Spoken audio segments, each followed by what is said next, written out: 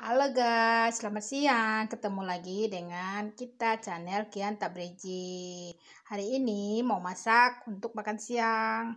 Babuska namanya, daging sama kentang. Semangat tontonnya guys. Sampai habis nanti videonya.